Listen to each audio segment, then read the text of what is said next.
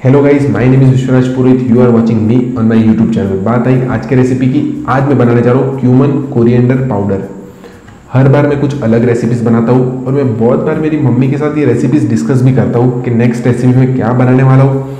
और मुझे वो कुछ टिप्स भी देती है कि इस रेसिपी में थोड़ा कुछ ये चेंज करने से ये ज़्यादा प्रेजेंटेबल भले ही वो एक होम कुक है पर जब उनकी कभी कभी छोटी से छोटी टिप लेने से भी मेरी कोई अच्छी रेसिपी और ज़्यादा अच्छी बन जाती है और लोगों को वो पसंद भी आती है। तो आज मैं जो रेसिपी बनाने जा रहा हूँ, वो है क्यूमन कोरिएंडर पाउडर और हाँ मैं इस चीज़ को प्रॉपर साइड कर देता हूँ कि इस रेसिपी में स्पेशली मेरी मम्मी ने मेरे को काफ़ी ज़्यादा मदद की है।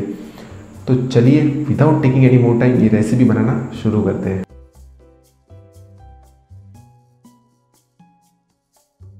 सबसे पहले हम लोग धनिया लेंगे।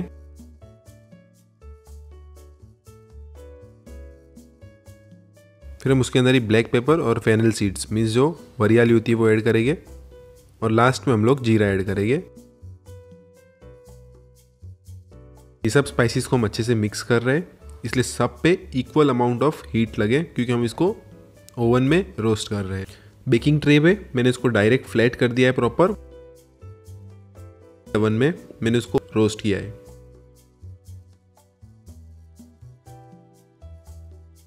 रोस्ट करने के बाद उसको फ्लैट करके थोड़ा ठंडा होने दीजिए। आप देख सकते हैं कि रोस्ट करने के बाद इसका कलर थोड़ा ब्राइट हो गया है। अब इसको सिंपली ग्राइंड करेंगे।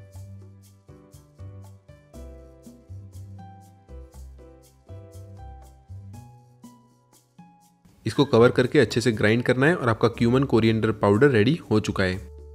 आप इसको ग्राइंड करके एयर टाइट कंटेनर में स्टोर कीजिए, इसलिए आप इसको लंबे समय तक यूज़ कर पाए।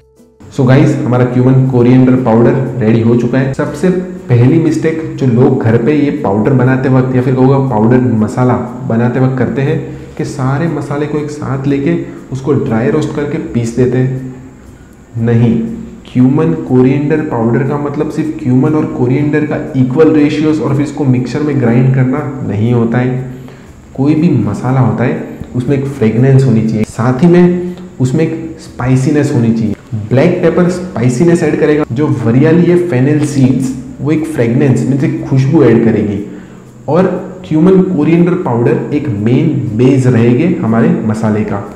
ये सेम क्वांटिटीज़ में आप मसाले को प्रॉपर मेज़रमेंट करके यूज़ कीजिए।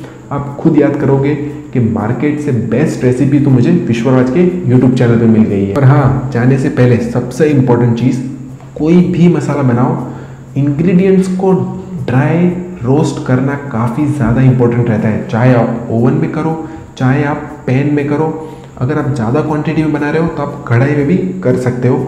पर ड्राई रोस्ट करने से उसकी शेल्फ लाइफ इंक्रीज हो जाती है और उसके अंदर एक ड्राईनेस आने से वो पाउडर का जो क्रश होता है ना, वो और भी ज़्यादा अच्छे से होता है। Without taking any more time आज का वीडियो मैं यहीं पर पूरा करता हूँ।